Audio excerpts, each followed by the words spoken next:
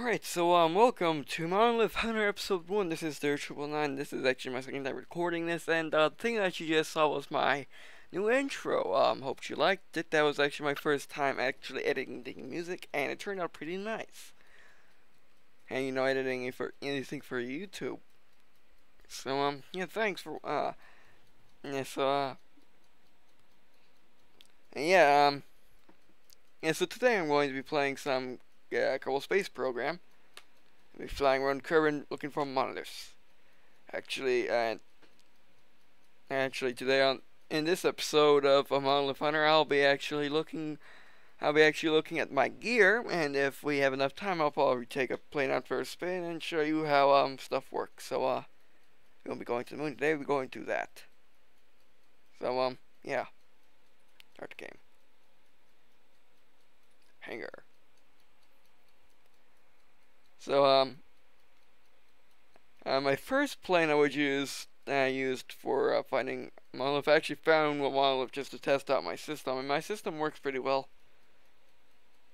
So, this is the Dirk Bird, uh, uh, which is uh, based off of the Arkbird from Ace Combat. It basically serves the same purpose. It takes off and goes in orbit around uh, goes orbit around Kerbin just like uh, Space Shuttle does or did because it doesn't do it today. It gets tired, but yeah. So basically,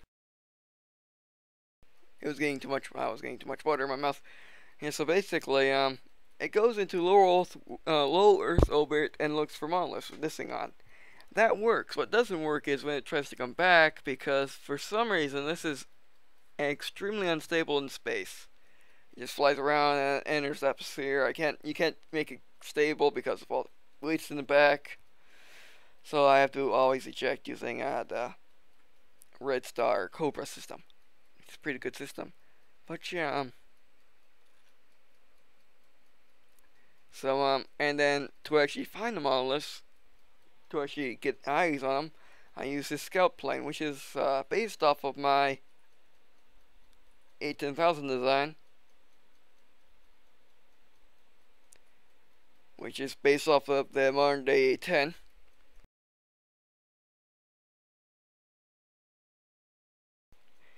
As in straight wings and this vertical tail and two engines, but uh, but for the sakes of uh, doing YouTube work, as in flying, flying high in the atmosphere and going extremely long distance, uh, I use one engine in the back.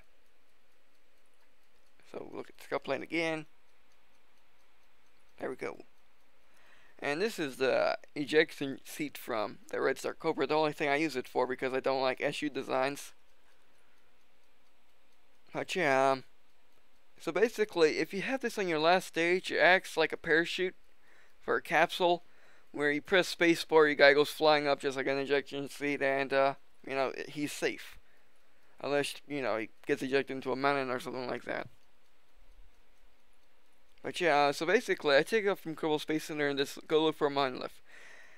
When I do find a monolith, I will land this next to it, and then I will, not end the flight, I won't end the flight, I will go to the space plane hangar, or go to the tracking center and get rover full. Which is, uh, which is a rover design, and I'll, and I will, um, I will swallow. I will, um...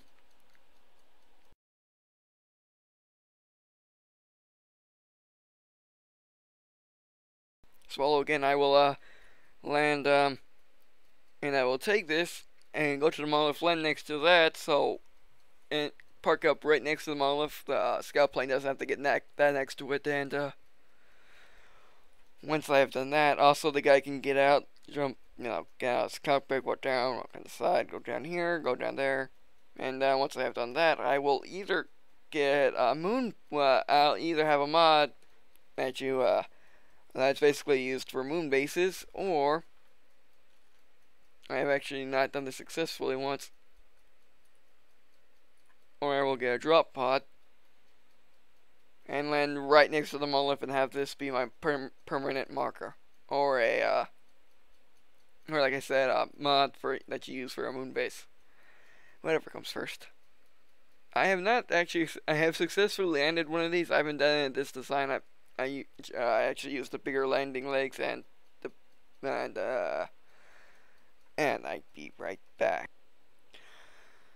Alright, so I'm sorry about that. I gotta do something. Yeah, what I was saying was um, I you know landed with that, so I'm gonna need to be switching these out so. And um, yeah, so that's my basic plan. And uh, when that is done, when that's on there, on the rover, and when I'm beginning to get the guys back, I'll send out an RV to go fetch them. Come on, there we go. And I completely forgot what the acronyms are for. But I'll figure that out eventually. So yeah, this is basically my bigger version of um,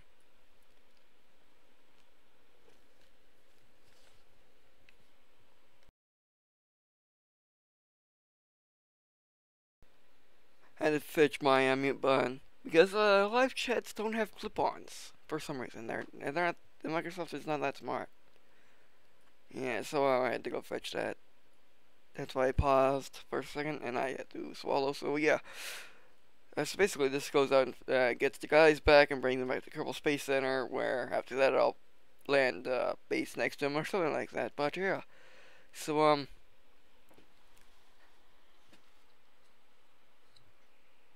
Uh, actually, I don't know how long that was been because I didn't set my timer.